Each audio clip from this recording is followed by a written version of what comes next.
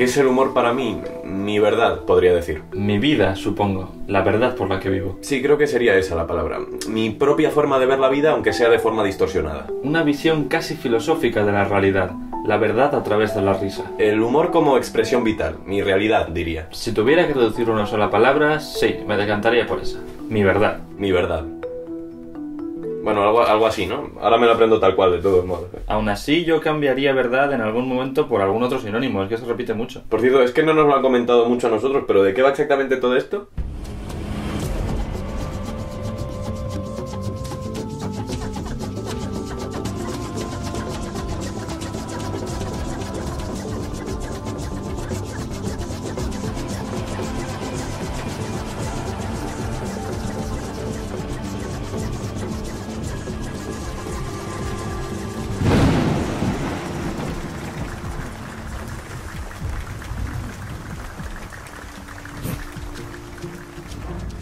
Primera parte.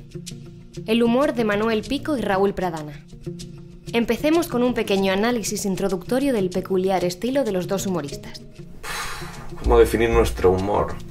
Eh, por cierto, ¿repito cada pregunta de Megas o contesto directamente? Sí, sí, repite, que si no cada intervención hablada os cuesta 30 euros. Ah, vale, vale. ¿Cómo definir nuestro humor? Hombre, se pueden ver características comunes en general en todos nuestros vídeos. Pero supongo que depende de qué momento hablemos y de qué vídeo. No sabría definirlo con una sola palabra. Solemos utilizar varios estilos, recursos, La mayoría de veces recurrimos al absurdo, a veces usamos lo musical, la ironía, el sarcasmo, el metahumor, el chiste con las estructuras, la literación, el metaplasmo, sinécdoque, sintaxis, con taxis, con anécdotes. salsa de soja, aguacate de vez en cuando, No solo la palabra, incluso las palabrotas también. conectado a veces con Monty Python, John Lajoie, Los hermanos Marx, los hermanos Lumière, Víctor Jostrom, Lars von Trier, Estocolmo, los hermanos Wright, los hermanos Warner, la Torre Eiffel, el Oso de Sol, el Primark mis hermanos, sus hermanas, y todo lo anterior al quinto disco. Después se hizo muy electrónico. los hermanos Karamazov y tres hermanas. Pero vamos, que tampoco solemos analizar mucho estas cosas. Con que la gente se ría nos vale. Con que yo me ría me vale. Lo principal para los dos es ofrecer algo al público. A mí el público no me importa, es Raúl el que insiste en colgar los vídeos. No es tanto un material para nosotros mismos, como afirman otros artistas, sino una oportunidad de provocar la risa en el espectador. Una vez le tiré una silla a un espectador porque no se ríe de un chiste. Por esa época aprendí que la gente no merece nada. Creo que es algo bastante bonito, el querer tan solo que alguien se ría. Por entonces tan solo quería ver el mundo arder. Ahora lo llevo mejor. Con un bosque de vez en cuando me vale. Esta es la propia percepción de los creadores, pero exactamente qué piensa el público sobre el humor de Pico y Pradana. Beh, está bien. Una mierda. No está mal, pero mucho no he visto. No los veo, siempre son muy largos. A mí me encantan, pero solo los miércoles y domingos a partir de las 7. Solo cuando cantan. Pero no me gusta cómo cantan. Los lunes por la mañana me gustan un poco, pero no me vuelven loco. ¿Quién? Y con el 3x2 algunos fines impares, pero suelo estar ocupado. Hola, ¿qué tal? Hola. Bienvenidos, Buenas. ¿eh? ¿Qué tal? Pasa, pasa. ¿Un viaje largo hasta el Escorial? Sí, de hecho nos hemos desviado un poco. Eso está muy bien. ¿Y nunca os habéis planteado ir a grabar a la gran ciudad para tener más gente disponible? No, es que Raúl es alérgico a Madrid. Una vez grabamos en Vallecas y me salió un sarpullido. Bueno, pues como veis, este es nuestro gran set de grabación. Lo compramos hace unos años y lo hemos aprovechado para la mayoría de los vídeos. Es la urbanización de Manu. Aquí hemos grabado, hay que hacer un musical musical, eh, partes de las 3D, el final del villancico de humoristas. Prefiero no moverse de su casa, siempre tengo que ir yo. Nos es bastante factible a los dos porque podemos reutilizarlo para varias cosas sin problemas. Sus vecinos siempre quieren echarnos. Manu ya tiene una orden de desahucio. Bueno, y esto ya es mi casa, que por casualidad pillaba justo al lado de los sets de grabación. Por aquí, por sus pasillos, también hemos grabado mucho, pero suele ser sin audio porque, como veis, se oye un poco mal. Sí, yo que tú cortaría ahora, ¿eh? porque con mucho audio aquí no se puede grabar. O sea, que entonces ahora podemos decir lo que queramos, ¿no? Sí, sí, ya digo que esto luego no se va a escuchar, así que... Ah, bien. Culo, culo, culo. Bueno, y esta es mi casa, que algunos reconoceréis por algunos vídeos que... eh, papá... Joder, otra vez grabando, coño. Em, bueno, mi, mi padre. Sí, ya he hecho también algunos papeles.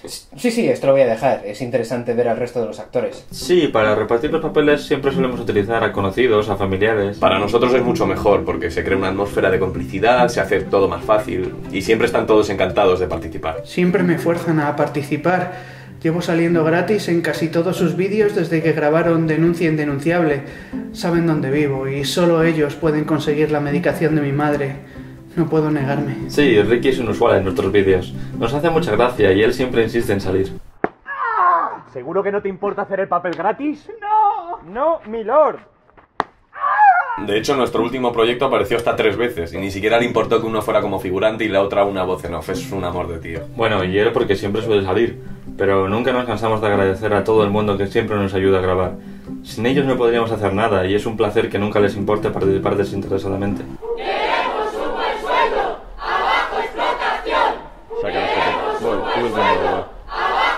Son gente fantástica, nunca nos piden nada a cambio y la verdad es que eso es algo muy difícil de encontrar. Los contratos falsificados ayudan, pero nada comparado con su espíritu colaborador. Segunda parte. Cómo se conocieron Pico y Pradana. Bueno, supongo que querréis saber algo de nuestras vidas por separado antes de empezar a hablar de cómo nos conocimos. Segunda parte. Las vidas de Pico y Pradana. Antes de conocernos. Segunda parte. Las vidas de Pico y Pradana antes de conocernos. De, de conocerse. Pero usted ha Ya, dicho... ya hablaba en primera persona y los títulos de crédito son impersonales.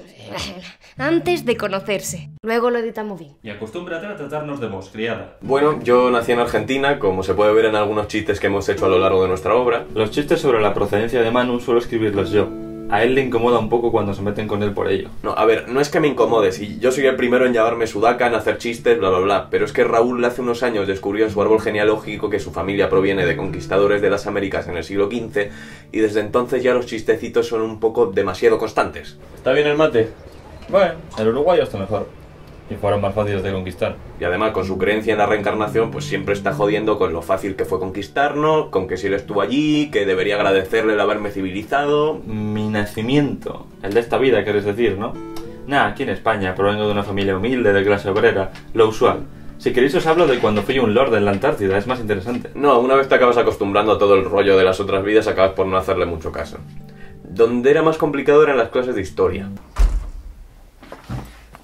¿Ha molestado algo de lo que he dicho de la dinastía von Bismarck? No, no, discúlpelo, es que algunos temas de familia prefieren no tocarlos. Yo cuando llegué a España, y no en patera, como insiste en afirmar Raúl, Que intente negarlo. En mi anterior vida, cuando migraba por encima del Atlántico, lo vi bajo mis propias alas. yo era muy pequeño, tenía unos 5 o 6 años. Sin embargo, ya conocía bastante la cultura española. Había trabajado en la traducción de las novelas ejemplares al galés, entre otras cosas, así que no tuve mucho problema en integrarme. ¿No encuentras fascinante el perspectivismo de Ortega? ¡Que te calles, sudaca! Por mi parte, durante mi infancia y la adolescencia no estuve demasiado en contacto con la cultura. Eso me lo inculcó Manu más adelante, cuando nos conocimos. Por aquel entonces yo solo me preocupaba por llegar a tiempo a la fábrica y cumplir con el horario, tener una familia que alimentar. Sí, sí es verdad que a Raúl en el colegio se lo veía más bien poco y siempre cubierto de hollín.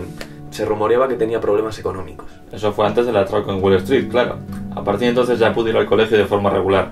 Creo que es importante hablar de esa época porque fue ahí cuando nos conocimos Manu y yo. Yo ya digo que lo conocía un poco de vista. Éramos pequeños, pero ya forjamos una gran amistad. Conectábamos mucho. Empecé a hablar con él de casualidad porque me cambiaron a su clase, pero tampoco me acercaba mucho, olía un poco mal. Es importante entender esa gran unión y ese eterno vínculo que forjamos, porque fue la base de lo que ahora es nuestra relación profesional. Tardé cinco años en saber cómo se llamaba. Lo averigüé de casualidad ya cuando estaba montando planteo ético, que lo llamé para ver cómo quería aparecer en los créditos. Y de ahí surgió todo. Luego entramos juntos al instituto y teniendo 14 o 15 años hicimos nuestra primera obra, Planteo Ético. Tercera parte. Primeros proyectos. Aproximémonos a los primeros pasos que dieron Pico y Pradana. Planteo ético, un muy cortometraje filosófico. La ópera prima de los dos humoristas, una obra en la que son protagonistas la filosofía, la gastronomía y el efecto del fallo de Raccord como recurso humorístico. Para hablar de planteo ético creo que deberíamos remontarnos al germen de la idea, que como ya hemos dicho en alguna otra ocasión, fue una conversación real que tuvimos Manu y yo, y que acabó siendo casi igual en el guion. Sí que hubo controversia una vez cuando nuestro amigo Javito afirmó haber estado allí y reclamó parte del dinero como co-guionista, pero bueno, eso lo solucionamos en su momento y no ha vuelto a quejarse.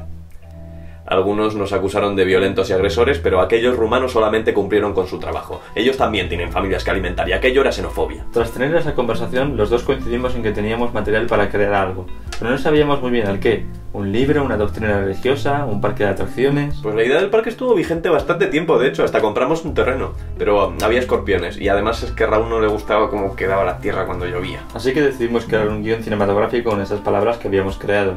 No sé ni cómo se nos llegó a ocurrir semejante formato. Hola, ¿qué tal? Estamos aquí y ya nos ponemos a grabar, ¿eh?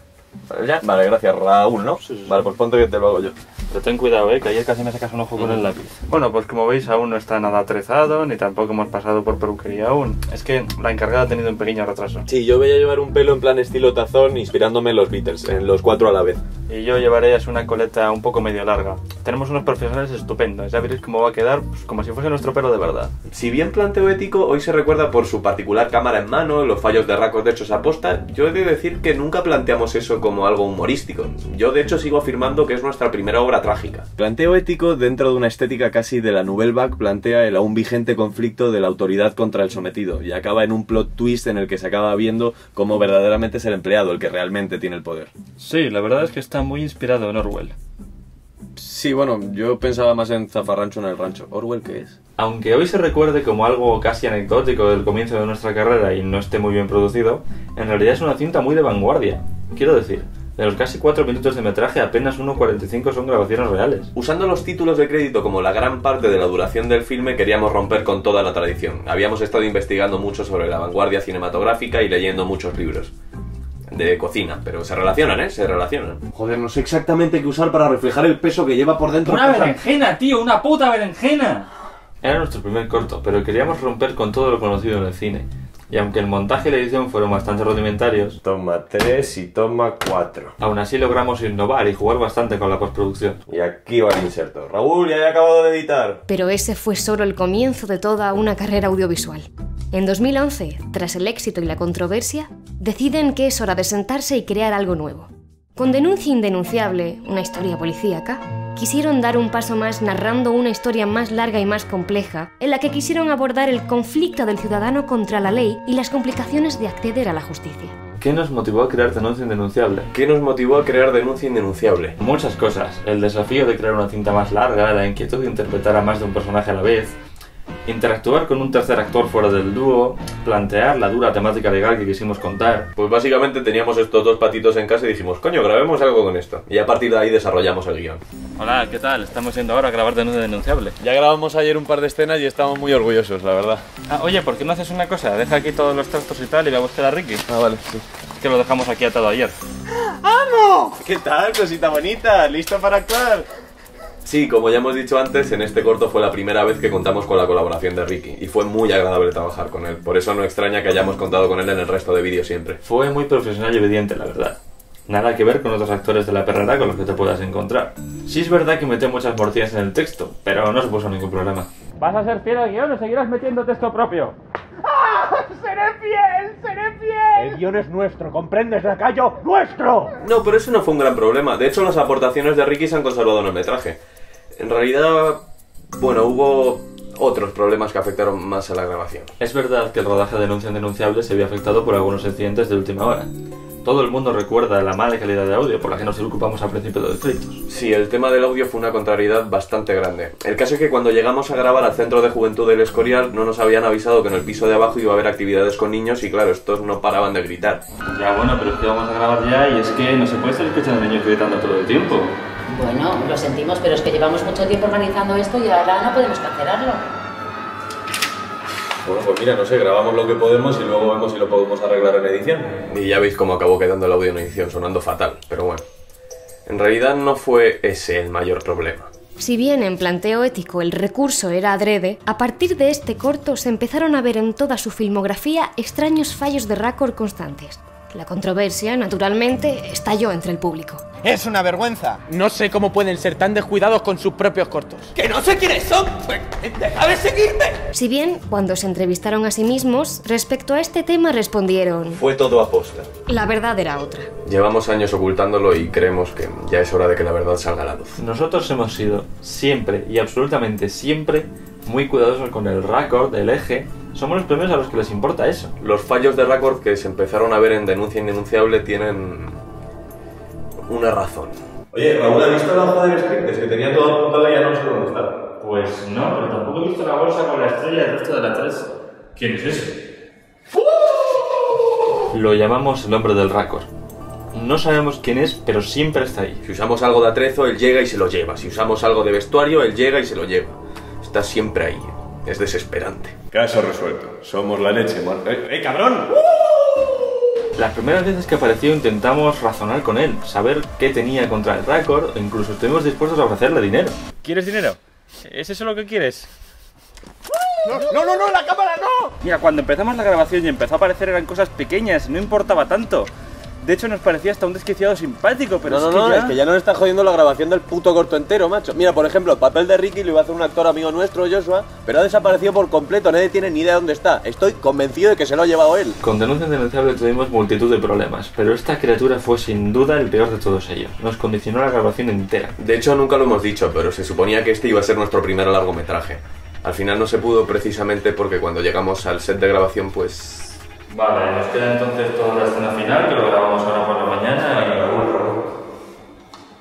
Eh, la actriz Tararella no estaba, ¿no? Fue él, estoy convencido. Nadie más tendría la voluntad de echar abajo un plató entero y reconstruirlo solo por placer. Ya no teníamos tiempo ni dinero de contratar albañiles para reconstruir un plató de acuerdo a lo que habíamos grabado, así que nunca pudimos acabar el largometraje y tuvimos que aprovechar las tomas grabadas que más o menos encajasen para contar una historia medianamente lógica, aunque fuera en un corto. Esto supuso un detrimento bastante considerable de la idea original, puesto que esta reestructuración necesaria hizo que no se entendiese muy bien la historia que habíamos creado en un principio, que trataba sobre una madre soltera en su búsqueda de la felicidad. Y además era un musical. La verdad es que me sorprende que las tomas que habíamos grabado cuadrasen con la nueva historia policíaca que quedó al final.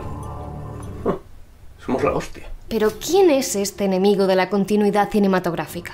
¿Es acaso él el responsable de todos los fallos de récord de la historia del cine?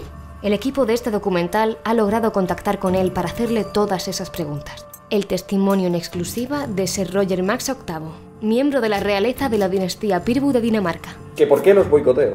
La verdad es que me aburro en mi palacio. La vida en la Casa Real del Norte es muy monótona. Y el boicot del celuloide es mucho más interesante que pulir mi cetro y mi trono. Ah, que ¿por qué ellos en concreto? Mira, he de decir que Planteo Ético cambió mi vida. Me parece una obra magnánima y muy infravalorada. Y el recurso del fallo de récord adrede creo que merece estar presente en toda su obra. Para ello vivo ahora. Nadie va a pararme. Y así ha sido desde entonces. Este fanatismo por el fallo de récord consciente de planteo ético ha llevado a Sir Roger incluso a dejar referencias del muy cortometraje a lo largo de la filmografía de Pico y Pradán. Muchos recuerdan el plano de denuncia denunciable en el que aparezco con un cartel de planteo ético detrás. Todo el mundo se rió con la referencia, pero la verdad es que nunca supimos de dónde salió. Es implacable. Bueno, o incluso en el segundo show que había un sketch que empezaba con un diálogo sacado de planteo ético que la verdad es que nosotros nunca quisimos meter. Les adjunto el guion que deberán leer en su sketch. Si no lo hacen, puede que lo siguiente que desaparezca de sus planos sea el techo y las paredes de su plato. Mira, tío, hagamos su guion y ya haremos luego cómo lo encajamos, que he visto fuera una bola de demolición. Pero bueno, eso es ir muy adelante en el tiempo, ¿no? ¿No deberíais seguir cronológicamente? Sí, perdone, nos hemos ido un poco del orden. ¿Qué se dice? Gracias por saber cómo hacer nuestro trabajo mejor que nosotros, Gran Pico. Eso es. Como brillo entre tanta mediocridad. Cuarta parte. La consolidación de su obra. Si bien después grabaron un vídeo en el que se entrevistaban a sí mismos Me aburro, ¿nos hacemos una entrevista? Bueno. y más tarde un especial electoral, Me aburro, ¿hacemos algo para las elecciones? Tío, estoy merendando. en mayo de 2012 sacaron al público el proyecto con el que consolidaron su filmografía, el show de las dos y pico. Sin embargo, no fue fácil llegar hasta allí. Después de estos primeros estrenos, aunque no fueran nuestras mayores obras, sí que es verdad que el éxito nos nubló por completo. Por esa época para mí era todo sexo, drogas y rock and roll. Que no te engañes, era virgen, abstemi y se le rompió el MP3. Se puede decir que fue una época dura para los dos. Yo me había cambiado de instituto para hacer artes escénicas y la relación se había enfriado. Los roces entre los dos eran constantes. ¡Oye! Vale, perdona. Ya no puede uno masturbarse en paz. Además, haberse metido a estudiar artes escénicas y entrar en contacto con más gente del mundillo hizo que Manu empezara a ver la creación de guiones de forma diferente. Ah, Talía, musa de la comedia, haz descender tu guion hacia mí. bueno, cuando te cargue el Word y escribas algo me avisas, ¿vale? Bueno, y no solo eso. Por aquel entonces mi carrera como estratega militar estaba en auge y no podía prestarle tanta atención a los vídeos. No duré mucho, pero la verdad es que el mundo de la milicia recuerda citas mías hoy día históricas como Tira, tira, tuve por ahí, hostia, esto se tiraba antes o después de quitarle la anilla o Ve, ve disparando, que me he visto y voy. Manuel Pico, estratega militar. Eso fue el culmen. Que le quitasen tiempo a los estudios artísticos lo entiendo, porque estaba relacionado y tal. Pero eso, si ni siquiera sabía qué países eran los que atacaban. Manu, ya tengo el gas que te comenté. Olvídalo, Raúl, nos atacan los cartagineses. Sí, en ese entonces Manu y Raúl estaban un poco, no sé, un poco raros. Eh, siempre se juntaban a escribir en casa y esas últimas reuniones eran un poco, no sé, diferentes. Os traigo la merienda, chicos. Muchas gracias. Supuse que estaban ensayando para meter gags de slapstick, pero cuando rompieron un par de sillas empecé a intuir que la cosa iba, iba más allá. En un momento tuvimos que hacer una intervención porque eso no podía seguir así. No por ellos, sino por los vídeos. Nos habían hecho pagar para el presupuesto del siguiente proyecto y no quería que mi inversión se fuera al garete por estos mierdas. Nuestras familias entonces nos juntaron de sorpresa para poder hablar de nuestros problemas y así sobrellevarlos y seguir adelante. A mí ya me resultaba raro que la convención sobre Meissner a la que me llevaban estuviera en casa de Raúl, pero bueno, yo me dejé llevar. Pues sin Raúl, pues no tendría nadie con quien grabar. Y sin Manu, pues nadie dependería de mí para grabar. Y la verdad es que nos vino bien. Si después de tanto tiempo juntos un momento de crisis teníamos que tener. Y mejor por esto que por haberme acostado con su perro. Después de esta reunión en la que nos dimos cuenta de lo importante que era para nosotros seguir grabando juntos, decidimos que teníamos que grabar algo nuevo y mejor realizado. Y así fue. Decidimos hacer nuestro primer show de sketches. Fue el primer vídeo largo que realizamos. Nos dimos cuenta de que así, con esa duración más extensa, podíamos contar muchas más cosas en un solo proyecto. O seguir sin contar nada, pero jodiendo más. Y desde entonces hemos intentado seguir siempre con esos proyectos extensos. Hola, ¿qué tal? Acabamos de terminar de grabar uno de los sketches que esperamos que mejor funcionen en el show, la batalla entre ciencias y letras. La idea del sketch surgió cuando aún íbamos juntos a clase. Estábamos discutiendo sobre qué itinerario ganaría en una pelea y bueno, íbamos a decirlo con una pelea de cuchillo, pero al final decidimos que era mejor que el humor actuase de juez. Creemos que va a estar bastante bien. De hecho, nos gustaría rescatar a los personajes para algún que otro proyecto futuro, así que vamos a guardar todo el vestuario para otras grabaciones. Por cierto, hablando de eso, ¿tu gorguera la has visto? Ha vuelto. Sí, sí es cierto que seguimos teniendo problemas durante esos rodajes.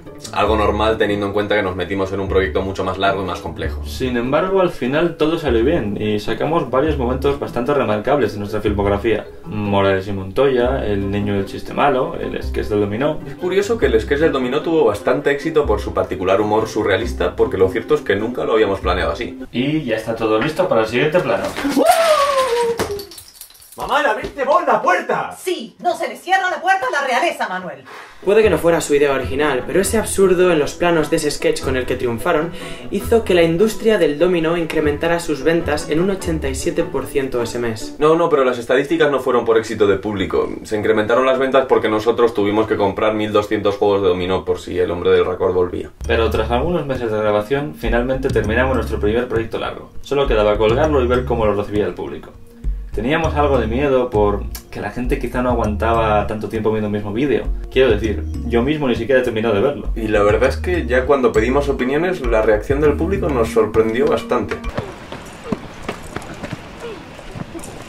A mí estos son los que te dije que les pareció muy original el vídeo. ¿Ah, sí? Qué bien. Sí, muy buena gente. Para nosotros el show de las dos y pico fue también el fin de una era, no solo por el nuevo formato, sino porque supuso una renovación de material.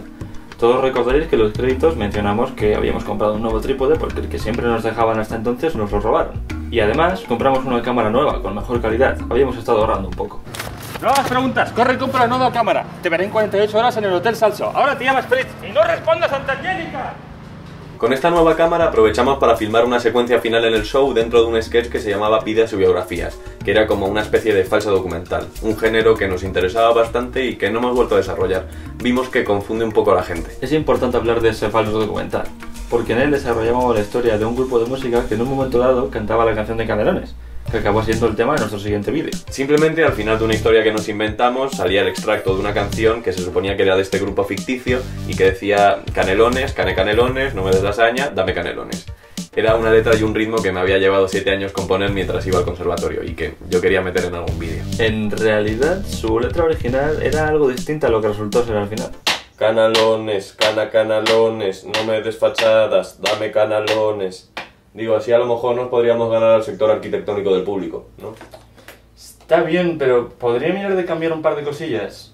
Mm, Ni bueno, siquiera palabras, es solo variar un par de letras. Y en Manu coincide en que sonaba mejor con esos cambios puramente fonéticos. Como se ve, quedó así en el resultado final. Sin embargo, y ante nuestra sorpresa, solo ese extracto causó una gran conmoción en el público. Era obvio que teníamos que componer el tema completo. Oye, pero. Y seguro que esto es hoy y ya, ¿no? Sí, sí, tú no te preocupes, no te vas a tener que volver a vestir así en la vida. Yo me he visto como deseéis, no os preocupéis, maestro. Sí, Ricardo, que no te preocupes. A ver, toma una galleta, venga. Joder, eres un puto inútil. La verdad es que yo no estaba convencido del todo. Creía que alargar el chiste del canto a un plato de pasta a una canción entera iba a ser ya demasiado. Y además eso no podía durar más de 4 o 5 minutos. Y yo creía que lo que necesitábamos era seguir el formato de larga duración. Tras un tiempo de considerar qué podíamos sacar que tuviese una larga duración pero no nos diera mucho trabajo, dimos con la idea clave. Utilizar el material ya grabado para realizar nuestra primera recopilación de tomas falsas y curiosidades. Esa recopilación supuso nuestra primera de una larga lista de estafas al público, todas sin ningún éxito. Con esa compilación intentamos conseguir más dinero de las visitas de los fans, pero lo único que conseguimos fue que YouTube estuviese a punto de eliminarnos la cuenta. Dice que no podemos subir vídeos de más de 15 minutos por atropello al gusto audiovisual y violación a la calidad artística mínima de un humano promedio. Eso va a ser por meter música con copyright. Esto nos asustó un poco. Sabíamos que teníamos que grabar un buen producto que fuera exitoso, así que seguí insistiendo a mano para reconsiderar la versión completa de Canelones. Raúl estaba convencido de que funcionaría, pero además de mi falta de convicción con la idea, yo contaba con dos contras muy grandes. Uno, que Richard Papay, el que se suponía que era el líder del grupo, nunca venía a las grabaciones. Oye, tú, ¿y Papay dónde está? No me jodas, ¿ha vuelto a faltar? Coño, ¿con cuántos meñiques cortados vamos a tener que amenazarlo? Y dos, aún más importante, yo, bueno, había tenido un sueño premonitorio diciendo que no lo hiciera, que esto podía o ensalzar o hundir totalmente nuestra carrera. Y yo soy un poquito supersticioso. Manu, es solo un sueño. Nunca son solo sueños, John Constantine. Finalmente no estoy muy seguro de si supuso nuestro triunfo o nuestro hundimiento. Y aunque yo estuve un tiempo intentando convencerlo de escribir la canción y no lo lograba, al final entró en razón y un día decidió de repente que sería buena idea hacerlo. Creo que fue su madre quien lo convenció. ¿Y si hacen canelones entero? ¿Dónde hay que firmar? Nunca lo entendí del todo. Bueno, supongo que recibir la idea desde alguien con un punto de vista más objetivo, que estuviera fuera del equipo, hizo que yo viera que sería una buena opción. No es que no quiera grabar nada de lo que dice Raúl, como afirma él. De hecho, dos de cada 34 ideas que salen en los vídeos son suyas, lo he calculado. Aún así, seguía el problema de papá y su poca profesionalidad.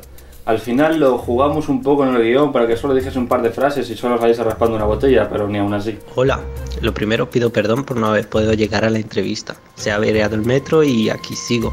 ¡Richard, se te va a enfriar la comida! Espera, mamá. Sí, siempre ponía alguna excusa para no llegar a todo lo que tenía que hacer.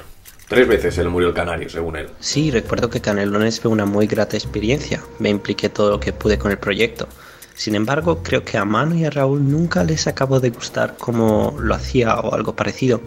Siempre parecían algo enfadados. Tres horas de retraso que lleva ya. Cuando venga creo que voy a tener que hablar con él muy tranquilamente. Joder, ¿alguien me puede decir quién coño me he cogido el vestuario? Porque con lo de papá tengo ya bastante. ¡Se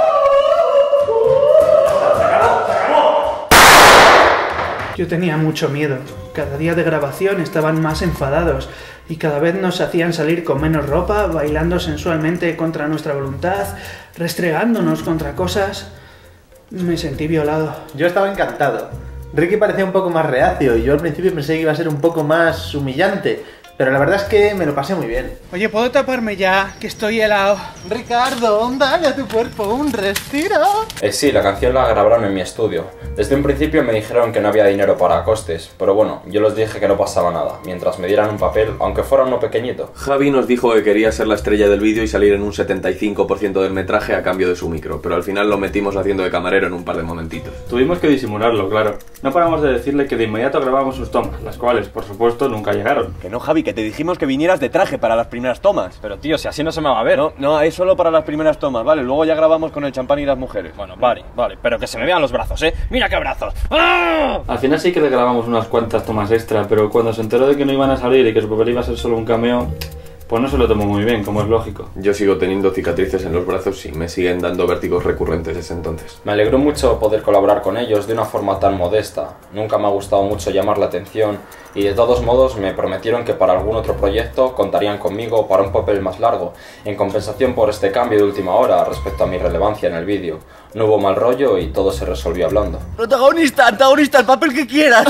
Quiero volver con Ricky. Y a todos los problemas que teníamos, los retrasos de papá y lidiar con Javi, etcétera, además se le unía que el compositor de la base musical cada vez tardaba más y más en pasarnos la instrumental definitiva y se nos iban juntando todos los proyectos y grabaciones. Pico y Pradana se quejaron un poco del tiempo que tardé en componer la base que utilizaron, pero yo quería que cada compás estuviera perfeccionado al máximo, y eso lleva su tiempo. Él nunca supo de música, pero tenía uno de estos pianitos en los que tocas una tecla y hace... pss. Necesitaba saber que cada elemento melódico estaba armónica y colocado correctamente.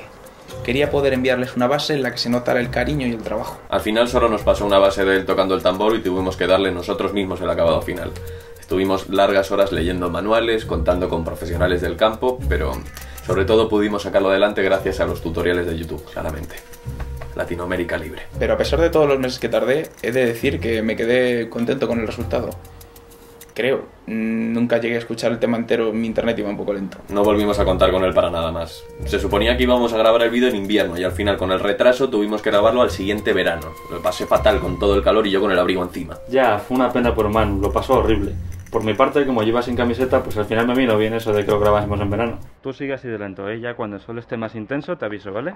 Tuve mucha suerte por la casualidad, pero mm, ya digo que me dio bastante pena ver a Manu pasándolo tan mal solo por su mala suerte térmica. Este retraso en su planificación de rodajes, sin contar con el parón cuando la policía los confundió con dos exhibicionistas, causó que Canelones se les juntara con la grabación de su segundo proyecto largo, Las Dos y Pico, la segunda parte de su show de sketches. Y aunque su idea inicial era lanzar al aire los dos vídeos de forma distanciada, este doble estreno acabó por resultarles una gran estrategia comercial. Fue impresionante cuando sacamos el anuncio del doble estreno, es que nos quedamos de piedra al ver la reacción de toda la gente. Nunca habíamos causado tanta expectación. Viéndolo a distancia, pues claro, sacar la versión completa de un tema que fue un éxito con solo el estribillo y al mismo tiempo la segunda parte mejor grabada de nuestro primer proyecto largo es explicación más que suficiente para el inmenso éxito que tuvimos. Tres visitas. Un éxito. Fue totalmente inesperado. Y bueno, además del ya sabido éxito de Canelones, la verdad es que el segundo show tuvo una acogida bastante buena, con algunos sketches nuevos como el del juicio gramatical o la crítica a la iglesia, o bueno, o aquel en el que causamos tanta controversia al hacer un paralelismo entre las religiones y los partidos políticos. Perdonad, pero creo que esto que estáis grabando no solo es de muy mal gusto, sino que además resulta ofensivo. No solo para mí, sino también para todos aquellos que profesan su fe de forma libre hacia cualquier doctrina. Además de todos aquellos militantes de alguna ideología política que creo no merecen este insulto que les estáis dirigiendo.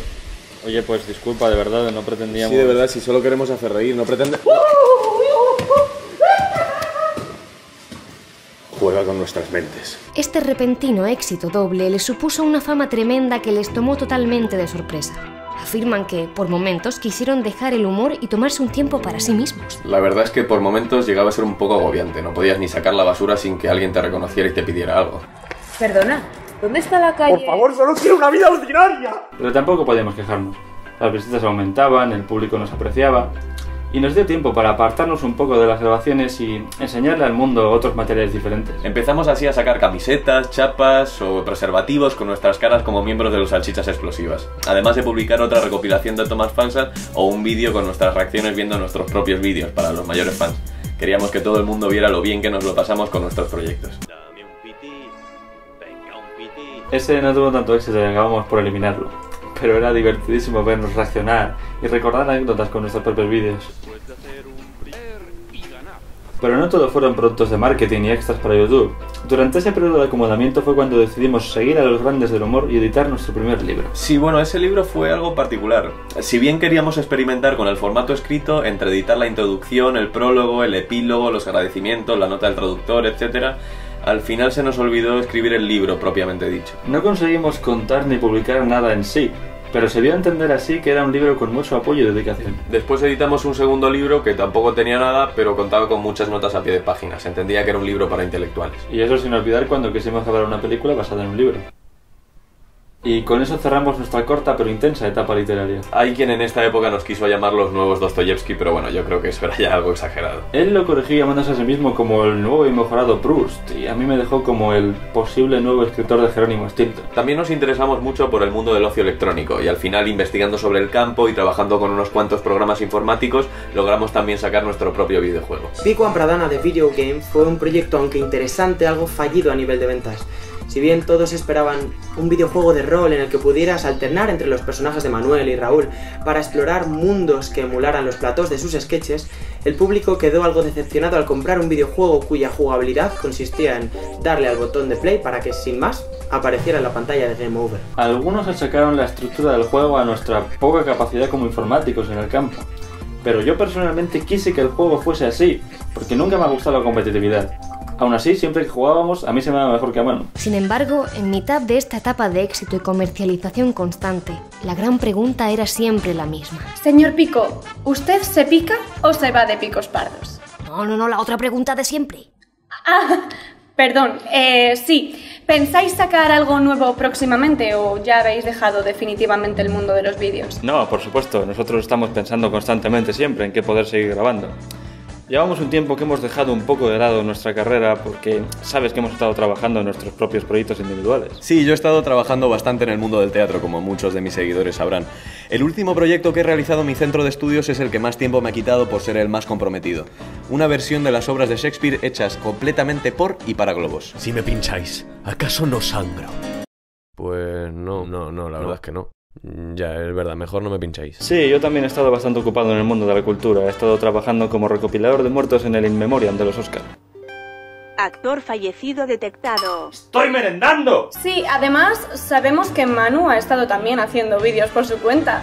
¿Hubo algún problema entre los dos para tomar esta decisión? No, no, en absoluto, por favor. Simplemente hubo algunos que los hice de forma individual porque eran trabajos para mis clases y hubo un par más en los que me apeteció experimentar de forma individual, sin más. Y Raúl, ¿cómo te sientas saber que el vídeo de vuestra cuenta que más visitas, con diferencia, ha tenido ha sido por ahora la canción de segundo de bachillerato, en la que no solo no sales, sino que además fue hecha con una persona ajena al dúo. No me lo he tomado mal, si es a lo que te refieres. Manu es libre de grabar con quien quiera y la verdad es que cuando me contaron lo del número de visitas me alegré mucho por ambos. No le guardo ningún rencor. ¡Ey, Iván, qué disfraz más chulo! ¿Ya? ¿Has visto? Eh, a Manu, ¿y le has contado lo de las visitas? Sí, se lo acabo de contar. Es verdad, tío, felicidades. Gracias. Aún así ya hemos firmado un contrato de permanencia para que no me vuelva a robar a Manu. Si lo quiebra, me quedo con la casa. Y bueno, me parece que ya es hora de preguntar, creo que en nombre de todo el mundo, si ya tenéis algo pensado para vuestro nuevo proyecto y si nos lo podéis contar. En ese momento no queríamos desvelar nada sobre el siguiente proyecto. Lo habíamos pensado durante mucho tiempo, queriendo buscar algo radicalmente nuevo que escribir y queríamos mantener el misterio hasta la sorpresa del día del estreno. Bueno, no podemos decir exactamente qué es, pero... Un musical. Sí, un, un musical, pero no está del todo claro, ¿eh? Quizás Está no- todo escrito, ¿eh? Ya en nada empezamos a grabar. Tiene una encefalitis, ¿eh? No le hagáis mucho caso. Quinta parte. La etapa musical de... Oye, hace ya un tiempo que no hacemos esta división en partes, ¿no? Ya, la verdad es que se nos olvidó según avanzaba, pero... Ya, pero, hostia, 12 páginas de guion y de repente volvemos... Bueno, bueno, da igual, todo lo anterior a la misma sección y punto, no pasa nada. No, si no lo digo por mí, yo lo digo por los espectadores, que es un poco raro. Bueno, da igual, tú sí. Ya luego dividimos en otra sección cuando corresponde y ya está. ¿Veis? Por eso siempre os digo lo de tomar alguna clase de guion, que luego pasa lo que siga pasa. con el texto, coño. Vale, vale. Quinta parte. La etapa musical de Pico y Pradana. Aunque los dos humoristas ya habían hecho alguna incursión en el mundo de la música melódica, su incursión definitiva en el género musical fue con Hay que hacer un musical, el musical, obra que ellos mismos definen como antimeta musical. El sentido de meta musical era porque si bien el proyecto era un musical hecho por mí y por Raúl, la historia contaba como Raúl y yo queríamos hacer un musical. Y lo de anti-meta musical es porque nos hacía gracia la idea de hacer un musical con gente que ni canta ni baila. Bueno, con la excepción de que en el mediometraje se ve que hay uno que tiene clarísimamente mejores cualidades vocales que el otro. No, Manu, no. Sí, dos, sí. Y luego sol sostenido. Cuidado con ese. Sí, bueno, tengo que admitir que mi voz se tuvo que arreglar un poquitín en postproducción. La verdad es que mirándolo con distancia nos enfrentamos a algo muy gordo, a pesar de que era un proyecto un tanto paródico y sin intención de que saliese algo muy brillante. Pero aún así teníamos que cantar, que bailar en alguna ocasión, encontrar la organicidad de la interpretación a través del canto. Bueno, de hecho, para acostumbrarnos y estar cómodos en la expresión cantada, nos pasamos tres o cuatro semanas cantando todo lo que queríamos decir. Nos detuvieron un par de veces. Pero no estuvo mal. Empezamos primero a hablar en verso para ir adecuándonos a la métrica artificial y ya cuando estábamos cómodos introducíamos la música. Yo no llego con la silla, ¿me alcanzáis la mantequilla? ¡Jamás! Y todo eso sin contar con lo que fue el proceso de creación del texto y de las letras, fue todo un desafío. Algunos criticaron un poco mis letras en cuanto a su estructura, sus recursos, pero yo no entendí muy bien a qué se referían. Y aquí el acento musical de las corcheas está yendo a la inversa del tonema de la palabra, lo que hace que el acento se distorsione al oído. Por no hablar de que no puedes tener una tirada de versos rimados perfectamente en consonante y de repente meter uno en asonante porque sí, porque a ti te apetece, porque te viene bien, porque te conviene. Y además, las aliteraciones y las rimas internas estaban buenas porque te las has comido.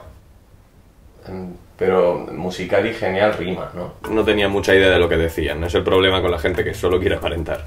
En cuanto a la calidad de mis letras, he de decir que muchos creen que son Jaime es mi padre. En cuanto a la música, la idea era hacerlo todo con partitura original, pero el único compositor que conocíamos era Vic, y aunque nos insistió muchísimo en participar, después del desastre de Canelones no queríamos ni verlo. Los dos insistieron y me rogaron que les compusiera todo el musical.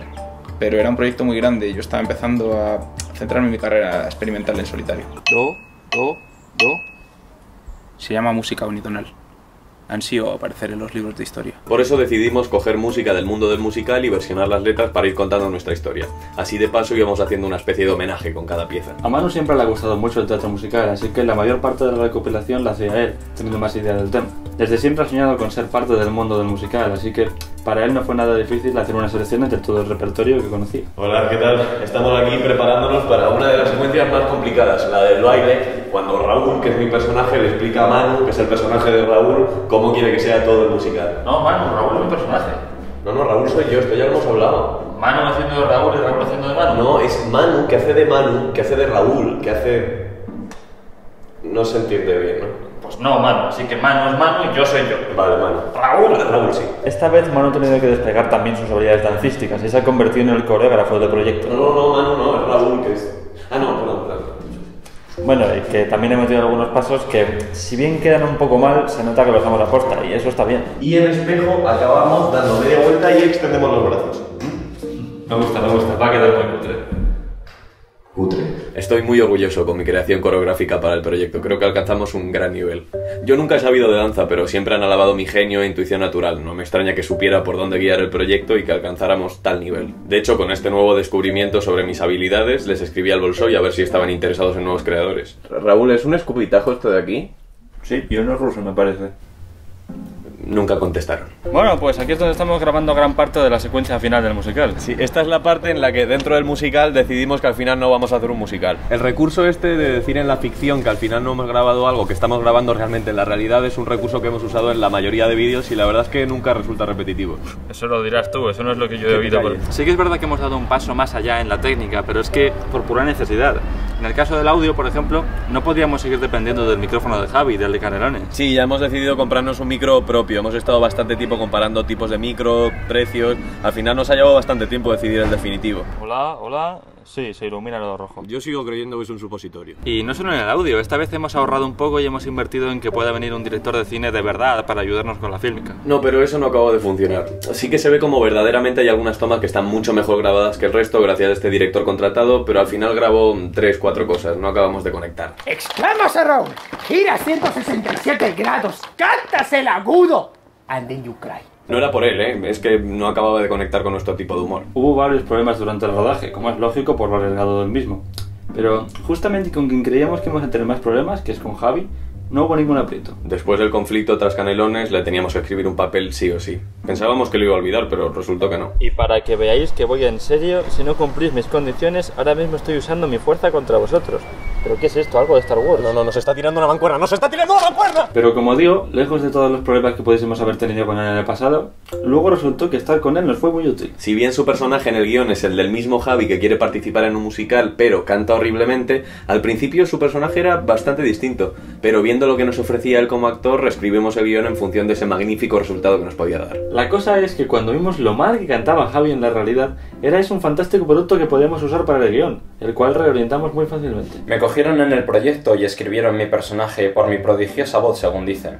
Yo no creo que sea para tanto, pero sí que han alabado mi canto varias personas, bajo pena de aplastarlos con una mancuerna. Eh, usas mucho las mancuernas, ¿no? Sí, la verdad que es mi agresión favorita. El otro personaje que pudimos escribir en base a quién era la actriz es el personaje de Erika, encarnado por Cayetana Torrijos, que en el guion es una chica absorbida completamente por el mundo de los musicales hasta el punto de casi creer que vive en uno. Al principio no sabíamos muy bien cómo enfocar el personaje, pero cuando conocimos a Kaya fue muy fácil escribirla. Hola, señor cámara, qué fantástico día para salir en un documental, ¿verdad? Claro que sí. Perdona que yo tenía que hacer esto en la calle, pero es que mi libro necesita pasear al menos una vez al día. ¿Verdad que sí? ¿Verdad que sí? No fue muy difícil escribir su personaje conociéndolo así. Al final, su personaje y el de Javi los pudimos basar básicamente sobre ellos mismos. La verdad es que nunca estuve convencido del todo de que Calle supiese que estábamos grabando. O sea, nosotros poníamos las cámaras y demás, pero me parece que ella verdaderamente creía que la situación era real y que nos comunicábamos a través del canto. Ah, pues no sé de qué me habláis. Yo los conozco porque una vez vinieron y me dijeron que grabara un musical con ellos. Luego se enfadaron o algo así y al final acabé haciendo un musical con el hombre bajito. Hablaban de escenas y guiones y cosas así. Yo nunca entendí exactamente lo que me decían. Eran un poco raritos. En realidad lo más raro era que me llamaban Erika todo el rato. Así que supuse que me llamaba así y que nunca antes lo había sabido.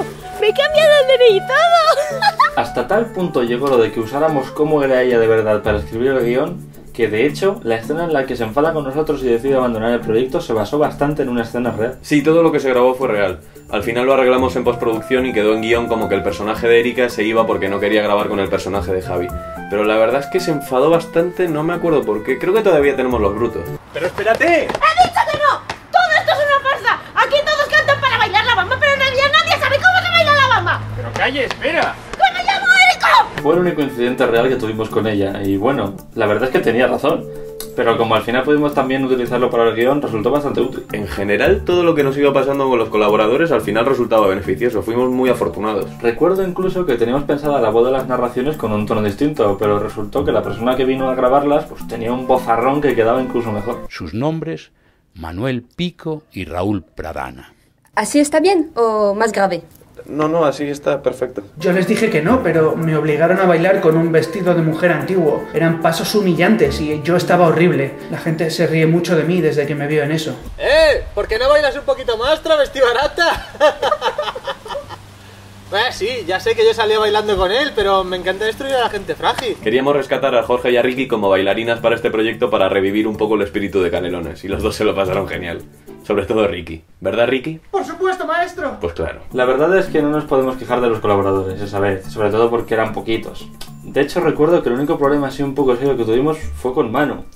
Es que no paraba de sudar con su casi macro sudor. Se ven algunas tomas, de hecho, y la verdad es que mucho no hacía por remediarlo. Manu, no es por nada, pero estás un poquito sudado y se ve en pantalla. Bueno, no sé, un poquito aquí, pero tampoco mucho.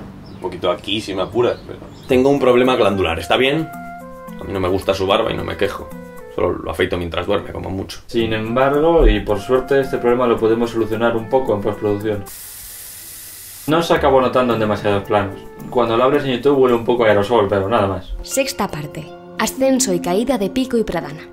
El estreno de Hay que hacer un musical, el musical, les supuso a Manuel Pico y Raúl Pradana el mayor éxito de crítica que han tenido hasta ahora. De hecho, si preguntamos a la gente cuál es su vídeo favorito de los dos humoristas, Hay que hacer un musical. El del musical. Hagamos un musical o algo así. El de cómo hacer un musical en tres sencillos pasos. vemos que nadie sabe muy bien el título, pero es unánime la preferencia por el mismo. ¿Ves cómo te hemos metido otra vez pronto? Sí, sí, ya. Fue un éxito muy gordo.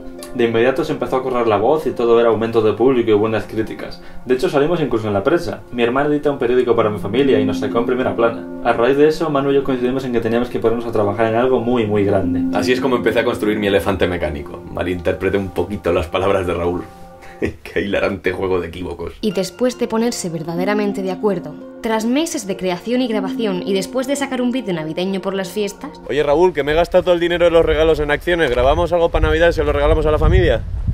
Sí, sí, en acciones, que me han dicho la BlackBerry lo vuelvo a petar. acabaron por sacar al público su actual última obra, Las 3D. Un cierre de la trilogía de sus shows de sketches, vídeo que, como veremos, supuso el hundimiento absoluto de la carrera de Manu y Raúl. En sí la idea prometía mucho, hacer una tercera parte del show como cierre de la trilogía. Sin embargo, nuestra estrategia de marketing no fue muy acertada.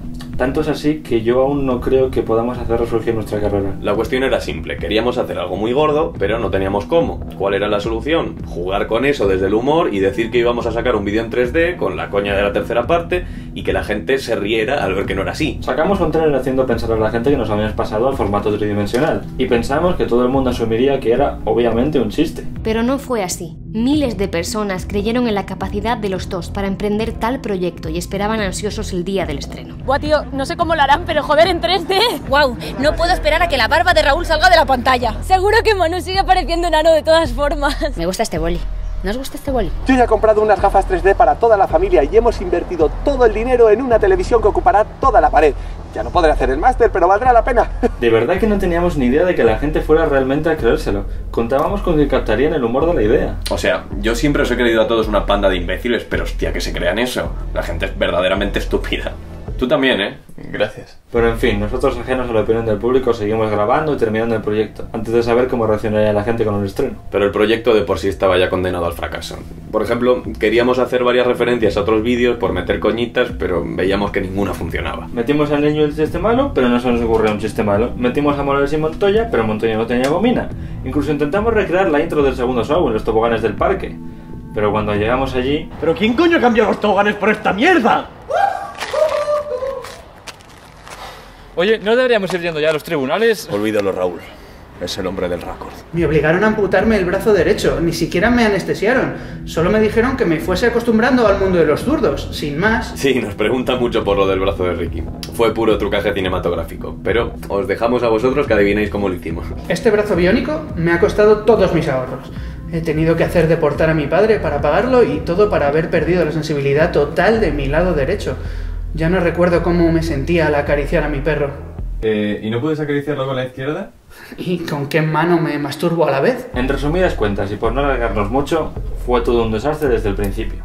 En cualquier caso, nosotros apostamos por ello y seguimos adelante con el proyecto, claro está. Esperábamos recuperar un poco la fe con el estreno, esperando que gustase a la gente, pero bueno, ya sabéis cómo fue. Su público seguidor, esperando un proyecto en tres dimensiones, al ver que todo había sido una mala broma, quedaron inmensamente decepcionados. Ha sido una puta vergüenza, me siento estafada. Ni un puto efecto. Quiero que me devuelvan mi visualización. Una hostia en 4D habría que darles. Que viene siendo una hostia normal, pero que suena más a venganza. De verdad que me encanta el boli este. Solo que no pinta, pero bueno. Se me pasó el plazo para poder devolver la televisión en la que me lo gasté todo, y ellos no cumplieron su promesa. Ahora solo busco sangre de humorista. ¡Sangre de humorista! ¡A la rica sangre de humorista! ¡Coño! ¡Qué suerte! No sabíamos que fuese a causar tanta polémica. Lo único que hicimos fue prometer unos efectos que más tarde no metimos, obviando lo humorístico del asunto. De hecho, tenemos pensado hacer un cuarto show que, al igual que Las 3D, se llamaría Las 4K. Pero ya no estoy tan seguro. Bueno, yo en nuestra defensa, perdón, pero diré que no es del todo cierto lo que nos achacaron. Algo de efectos especiales sí que metimos, aunque luego no se notarán en pantalla. Sí, vamos a grabar ahora la escena de la pelea de los espadachines, pero no encontramos ninguna espada, así que hemos encontrado esto. Y ya luego en pospo lo arreglamos. En edición también me van a meter a mí unas patillas y una perilla medio barroca. Raúl me dijo que me la dejara, pero yo no creo en las barbas. De hecho, alguna vez ya me he increpado e incluso agredido por No saques el tema que tengo una espada. Si la gente no lo notó, pues mejor. La magia del cine. Desde aquel estreno no hemos hecho más que perder suscriptores, recibir insultos por la calle, numerosas amenazas de muerte, paquetes bomba con criaturas muertas dentro y algún que otro virus en nuestros móviles. Eso ha sido lo peor de todo, sin duda. El Candy Crush se queda pillado siempre. Es muy frustrante. Por suerte nos pudieron acoger un tiempo en la embajada ecuatoriana de Londres, por seguridad. Por cautela sí que le pedimos a la prensa que dijera que era solo una persona la que estaba allí que había filtrado datos de los gobiernos o algo parecido. Así no sospechaban. Manu se teñió de rubio de vez en cuando para seguir con el plan. Nadie ha sospechado nunca nada y ya todo el mundo se ha olvidado de aquel señor que nos inventamos. Tras un año, cuando el público casi había olvidado la polémica de su último vídeo, los dos pudieron retornar a su hogar y volver a la vida de antaño. ¡Familia! ¡He vuelto! ¿Y este quién es? Papá, he vuelto. No vuelvas a hacer promesas tridimensionales si no puedes cumplirlas. Imbécil. Así, los que empezaron como dos simples humoristas y que pasaron a estrellas de fama mundial, volvieron a ser dos simples humoristas. Ya la gente se ha olvidado completamente de nuestro ascenso a la fama. Se ha borrado en la historia prácticamente. Es duro volver a acostumbrarse a ser solo uno más con una vida corriente y estúpida como la tuya. Por supuesto, seguiremos grabando vídeos, aunque solo sea por recordar nuestra época de esplendor. Está bien que grabéis esto, por cierto, a ver si así la gente nos vuelve a recordar. ¿En qué cines lo vais a sacar? No, esto irá a YouTube, no creo que lo vea mucha gente. Con casi los mismos suscriptores con los que empezaron y con las visitas de sus vídeos reducidas al estándar por penalización de publicidad engañosa, ahora Manuel Pico y Raúl Pradana vuelven a ser ciudadanos normales. ¿Se volverá a saber de ellos en el mundo del humor próximamente? Sí, sí, sí, ya ha dicho Raúl que seguiremos grabando cosas. No sé bien cuándo, la verdad. Ahora mismo estamos grabando nuestro primer disco. Además de reversionar temas de proyectos anteriores, estamos explorando un poco el mundo del viking metal. Además, yo ahora también estoy trabajando en el teatro, estoy experimentando con la performance gestual. Ahora mismo estoy investigando sobre un proyecto titulado El sujeto y su ojete. Tras un año desde el estreno de Las 3D y volviéndolo a saber solo para otra fallida recopilación de tomas falsas, no se volvió a saber nada de los humoristas. Desde entonces han seguido una vida corriente, olvidados por la sociedad. Sin embargo, pocos meses después de que nuestro equipo los entrevistase para este documental, una noticia sale a la luz. Pico y Pradana, tras pedir disculpas públicas por su anterior proyecto, convocan a la prensa en un evento privado en el que compartirán cuál será su nuevo proyecto. Para finalizar nuestro metraje, compartimos ahora material inédito de tal evento. Bueno, y después de tanta espera, ya ha llegado el momento de desvelar qué hemos estado grabando durante este 2016. El proyecto que Manuel Pico y Raúl Pradana estrenarán en breves días será...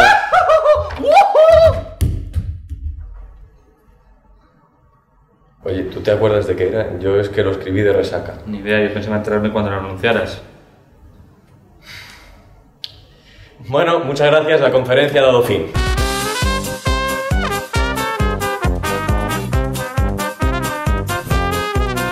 Pero un momento, que es que esto no me ha quedado muy claro al final. ¿Esto es un documental que habéis hecho vosotros? ¿O que hemos quedado nosotros de coña? ¿O qué pasa aquí? Es que el formato está bien, pero hay datos e imágenes que es imposible que vosotros tengáis, a menos que esto lo hayamos escrito nosotros. Sí, es verdad que en los proyectos solemos jugar con las estructuras de modo que todo resulte un poco confuso, que no se sepa bien la intención y quién ha escrito todo. Sí, hay veces que este juego con lo formal resulta incluso excesivo. A veces Manu mete incluso cualquier cosa en los créditos para que la gente no deje de ver el vídeo hasta el final final. Es este lado definitivo, ¿no? El- Vale. Bueno, pues ahora mismo estaréis aquí viendo todos los nombres de la gente que ha colaborado, demás datos. Creo que es importante ver los créditos. Creo que hay que ver y apreciar cada nombre, memorizar cada nombre.